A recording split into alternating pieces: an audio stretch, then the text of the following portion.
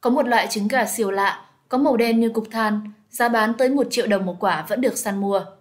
Nhắc đến trứng gà, chắc ai cũng chỉ nghĩ có màu trắng, màu vàng hoặc xanh nhạt. Nhưng trên thực tế còn có một loại trứng gà duy nhất một màu đen kịt như than.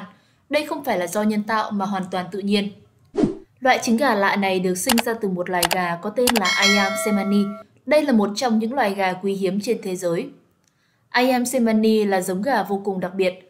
Trên thân hình của giống gà này không có màu gì khác ngoài màu đen tuyền, giống như một con gà vừa rơi vào thùng hắc ín vậy. Từ chân, móng vuốt, mồng, mỏ đến lưỡi, cuống họng đều chỉ một màu đen. Chưa hết, trừ dòng máu của chúng có màu đỏ sẫm, những bộ phận bên trong như thịt, xương và nội tạng vẫn là màu đen. Và tất nhiên, vỏ trứng của giống gà này cũng mang màu đen tuyền. Gà con nở ra cũng một màu đen chứ không phải là những chú gà con lông vàng như các giống gà khác. Do những đặc điểm dị biệt ấy mà giống gà này còn mang tên gọi khác là gà mặt quỷ.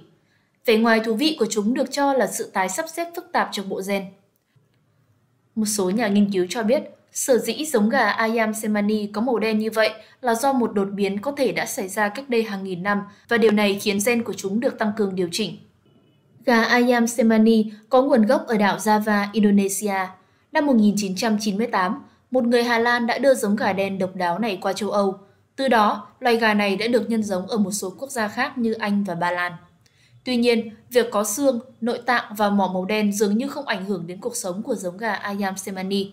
Màu đen tuyền bẩm sinh chính là yếu tố giúp chúng trở thành giống gà đắt nhất trên thế giới.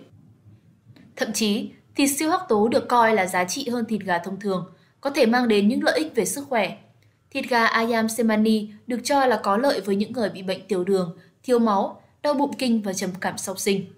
Do đó, giá trị của loại gà này rất cao. Gà Ayam Semani nặng từ 1,5 đến 2,5 kg một con và có giá trị khoảng 2.500 USD, khoảng hơn 60 triệu đồng. Một con gà Ayam Semani mái có thể đẻ được từ 60 đến 70 trứng một năm. Đặc biệt, trứng gà Ayam Semani rất đắt. Mỗi quả trứng gà Ayam Semani giá từ 500.000 đến 1 triệu đồng.